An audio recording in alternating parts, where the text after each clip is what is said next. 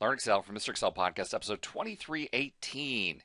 Insert sheet rows to the quick access toolbar. Hey, welcome back to the Mr. Excel Netcast. I'm Bill Jelen. Easy, easy one today compared to the last two videos uh, that we put up. And uh, this comes from Kristen in Florida. And first, let's talk about how to insert rows in Excel, right? And the way that I've been doing it ever since, I don't know, geez, well, a long time ago, certainly back in Excel 2003, is to select one or more cells and then do Alt I for insert, R for rows. And that goes all the way back to the days when insert rows was on the insert tab where it belongs instead of on the home tab. All right, we'll undo that.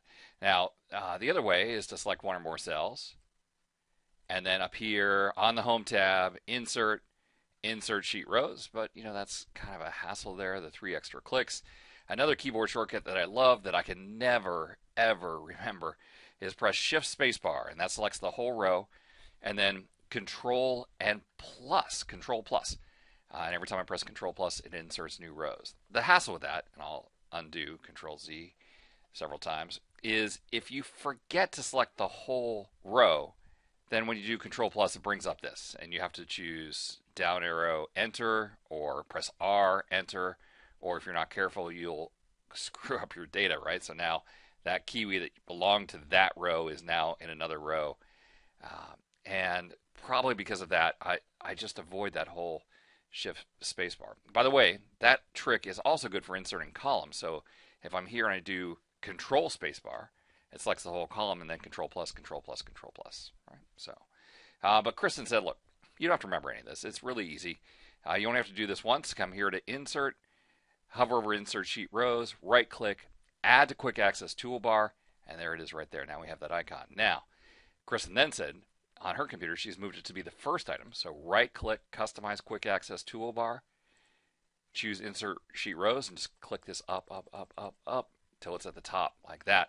And the reason that Kristen does that is Kristen knows that the first nine icons here are special icons. They're really easy uh, to use. So let me just choose uh, several rows here, and I'll press and release the Alt key See, and those first nine icons are assigned the numbers 1 through 9. So it just simply becomes press and release Alt and then 1, and there I've inserted five rows at a time. You know, it's funny, one of the craziest questions I get is how is it possible to insert more rows than one at a time? I don't know why people have never uh, figured out that you can insert a bunch. Uh, you would think, if you're listening to this podcast, that you see this all the time, and you do this all the time.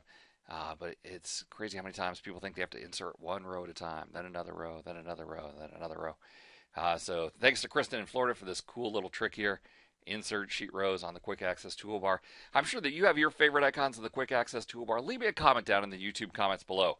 Let me know uh, what icons you have uh, added to your quick access toolbar. I'm always fascinated by you know what's important enough.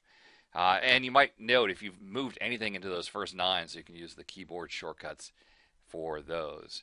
Uh, today, uh, promoting the book Mr. Excel LX. And hey, if you buy it from me, you get the update Mr. Excel 2020, Seeing Excel Clearly.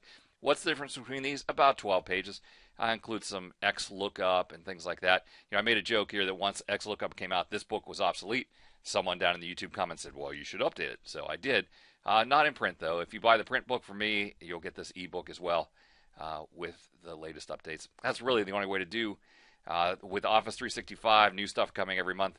Uh, just having a little ebook, and then maybe every other year, you know, we'll do a reprint of uh, collecting things. Once we get more than just 12 new pages. And oh, please, if you enjoy the videos here, down below, please click subscribe and ring that bell. Just about at 80,000 subscribers right now.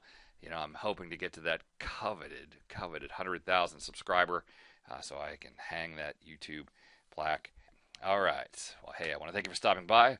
We'll see you next time for another netcast from Mr. Excel.